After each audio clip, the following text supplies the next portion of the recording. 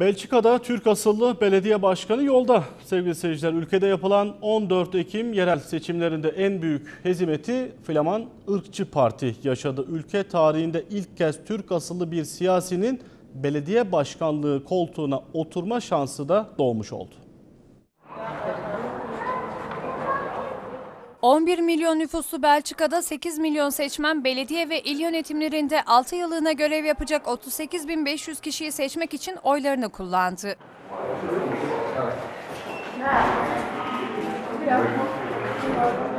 Hafta sonu yapılan seçimlerde rekor sayıda Türk asıllı aday seçimlere iştirak etti. Brüksel'in Sint-Joosten-Noode Belediyesi'nden seçime giren Brüksel Bölge Hükümeti Devlet Bakanı Emir Kır, aynı partiden mevcut belediye başkanı Cindeman Nez'den de daha fazla tercih oy alarak Belçika'da ilk Türk asıllı belediye başkanı olma yolunda önemli bir adımı geride bıraktı.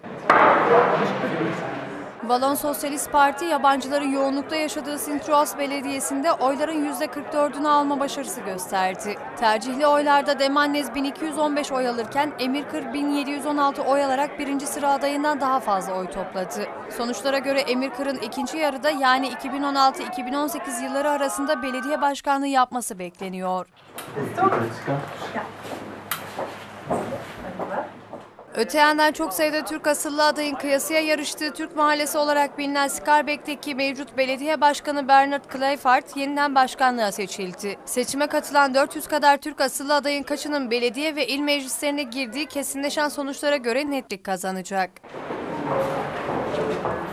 Belçika'da yapılan yerel seçimlerde gözler başkent Brüksel'den ziyade ırkçıların kalesi olarak bilinen Anvers şehrine çevrildi. 14 Ekim seçimlerin hezimetini Flaman ırkçı parti yaşadı. Parti en güçlü olduğu Anvers şehrinde %34'ten %11'e geriledi.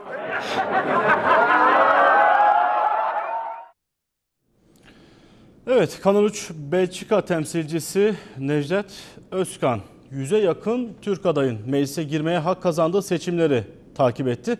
Ayrıntıları ondan alacağız. Necdet Özkan iyi akşamlar. İyi akşamlar Atagünüz. Evet e, haberimizde de verdik ama biraz kısıtlı verdik. Nedir son gelişmeler? E, gurbetçi siyasetçilerimiz neler yaptı? Necdet Özkan sözü sana bırakıyorum.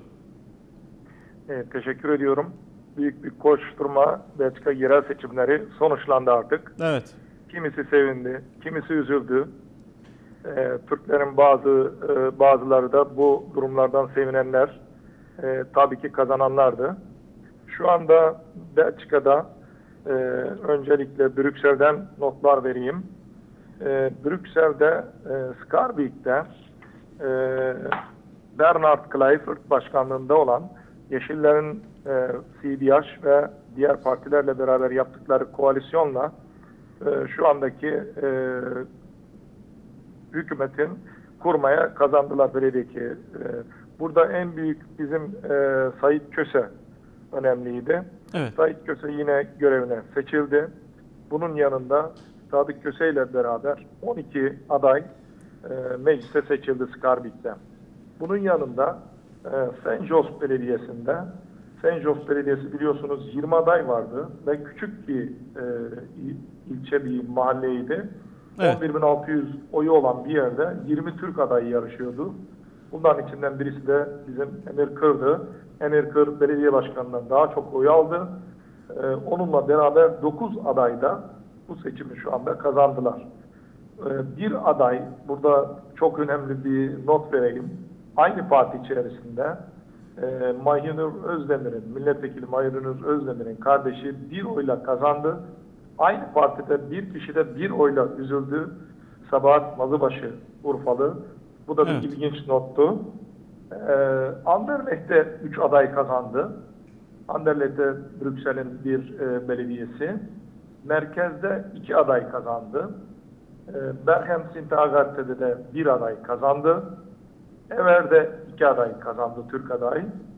Glasgow'un bir aday kazandı. Ee, bu şekilde e, Brüksel'deki durum. Peki- Gent'te, e, Gent'teki durum ise çok farklıydı. Gent yıllardır e, koalisyon, koalisyonla yönetiliyordu.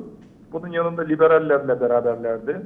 Ama bu seçimde Daniel Termont kendisi Yeşillerle birlikte bir e, kartel yaparak girdiler ve seçimde çok büyük bir ezici üstünlük sağladılar. Bu ezici üstü- üstünlük %45.5'i buldu ve buradaki belediye sandığı 51'di. E, 26'yı alan tek başına iktidar oluyordu ve 26 sandalyeyi aldılar. Ama dün bir açıklama yaptı. Bu açıklamayı takip ettik Daniel Termont'un seçim e, ofisinde. Kendisi biz tek başımıza iktidarı kazandık ama nankör değiliz. Yıllardır bizimle koalisyon yapan liber- liberalleri bu koalisyon dışına itmeyeceğiz. Yıllarca Gente hizmetleri onlarla birlikte yaptık. Onların da bunda emekleri var. Biz vefayı da biliyoruz. Tek başına liberal- liberallerle yine devam edeceğiz dedi.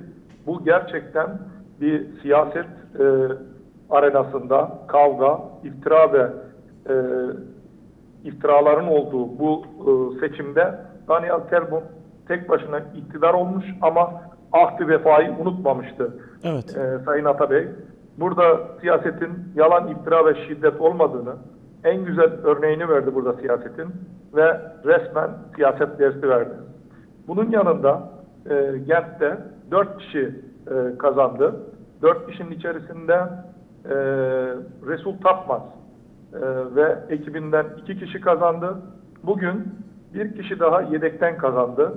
Bu yedek şöyle oluyor. Belçika sisteminde e, bakanlar da katılıyor bu Evet, belediye lütfen yarışına. kısaca çünkü Katı- çok karışık bir seçim sistemi var e, Belçika'nın değil mi? Evet çok karışık Atabey. Ee, bu eski başbakanlardan e, belki e, ismini hatırlayabilirsiniz. Verhofstadt vardı.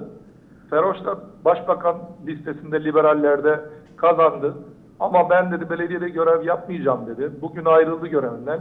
Otomatikman bizim Türk adayımız Sadık Mehmet Sadık Karanfil e, kazandı ve bir kişi daha eklendi bu listeye. Ne güzel. Kent'te 5 kişi kazanmış oldu. Ee, bunun yanında Anvers'i verebilirim size. Anvers'te de biliyorsunuz e, ırkçı parti bir hezimete uğradı. Bunun yanında ırkçı partinin hezimete uğramasıyla Enviya Partisi e, ön plana çıktı. Burada e, 76 bin tercih oy aldı e, Bartha Weaver. E, hükümet kurulamamıştı biliyorsunuz. iki buçuk yıl hükümet kurulamamıştı. Evet, evet. Bartha Weaver'ın bloke etmişti bunu. Ve Gent'te şu anda belediye başkanı seçildi. E, pardon, e, Anvers'te belediye başkanı seçildi.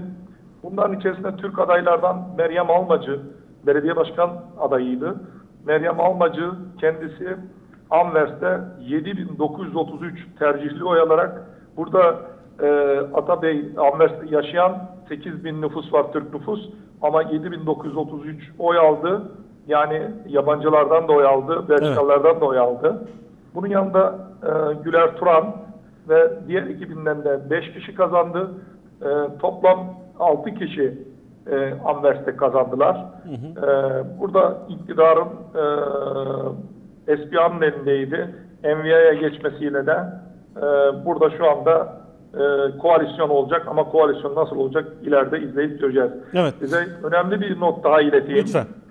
Belçika'da bir tek Türk Partisi kuruldu. Belki e, haberi vardır Türkiye'dekilerin. Bu ilk Türk Partisi e, Sterke Hözdün Zoldur diye bir parti kuruldu. Bu Limburg bölgesindeki bu. Bu kurulan partinin e, adayı olan e, Başkan Selahattin Özer seçildi. Demek ki Türklerin oyuyla e, partiler kurulabiliyor ve seçilebiliyor. Evet. Gücü Belçika'da izlenebiliyor. Ee, Şu anda aktaracaklarım bu kadar. Son Ee, son bir Ata soru soracağım Necdet Özkan. Ee, bunlar beklenen sonuçlar mıydı sizce? Necdet Özkan olarak soruyorum. Yani bir beklediğiniz sonuç muydu? Bu Türk adaylarla ilgili soruyorum bu soruyu. Aşağı yukarı aynı fotoğraftı Atabey. Bu fotoğraf çünkü önceden de biliniyordu. Ama e, bazı partiler e, fazla aday çıkarmışlardı Brüksel ve Gent'te. E, bunun neticesiyle 2-3 e, Türk e, adayları giremedi. Yani Evet. o fazla çıkarılan e, bölündü oylar. Oyların bölünmesiyle de birkaç aday şu e, seçilemedi. Ama iktidarın değişmeyeceğini herkes biliyordu. Hükümet hükümet kuruluyor. Aynı buradaki bakanlar var. E, Türkiye gibi değil. buradaki e, yerel e, yönetimler genellikle hükümet gibi koalisyon yapıyorlar. Ve bu koalisyonda e, bakanlıklar gibi şikayetinler veriliyor. Ve beklenen sonuçtu. Tek e, fark e, Gent'te yaşandı. Gent'te böyle bir e, tek başına iktidar şimdiye kadar olmamıştı. Gent devamlı koalisyonların bulunduğu bir yerde. Ve buradaki sonuçta normal Atabey. Evet. Necdet Özkan teşekkür ediyoruz. Belçika'ya sizlere selamlar gönderiyoruz oradaki gurbetçilerimize de. Atabey ben de teşekkür ediyorum. İyi yayınlar diliyorum. Teşekkür ediyoruz. Evet, Necdet Özkan'la Belçika'nın seçimini konuştuk. Sevgili seyirciler devam ediyoruz ana haber bültenimize.